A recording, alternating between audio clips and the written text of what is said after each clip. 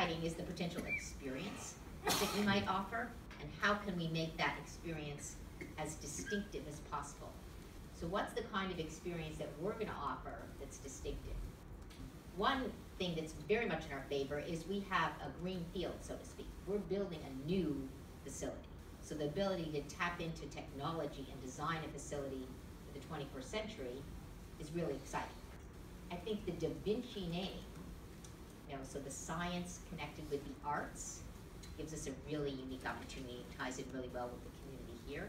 So we're, our staff is really working hard and we'll be bringing in outside consultants and we're working with the consultant we have to think about what does that mean if we want to integrate the science with the arts. The other area that we think is really interesting is connecting the different disciplines of science. So the cutting edge work that's going on in our world, um, globally, locally, the research at whether it's Lafayette, Lehigh, the exciting stuff that's happening is at the intersection of the disciplines, where like biology comes together with engineering. This is a community project. This isn't about the Da Vinci Science Center.